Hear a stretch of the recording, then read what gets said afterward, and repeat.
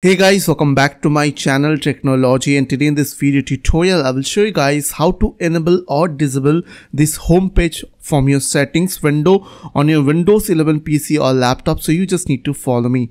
So what you have to do is you just need to close this window. First of all you just need to go to your start or search window and type over here gp sorry gp edit.msc okay after that press enter or click on these gpedit.msc and on this window you just need to expand our local computer policy from your left side.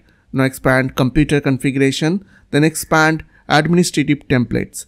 Now here you will get an option called all settings. So under all settings you just need to uh, find settings page visibility. So you just need to find settings page visibility. And after that double click on it. And now you just need to if you want to disable the home page you just need to click on enable. And now here you just need to type hide colon then home okay? After that click on apply then okay. And now if you'll open your settings window it will not show you home page on your under your settings.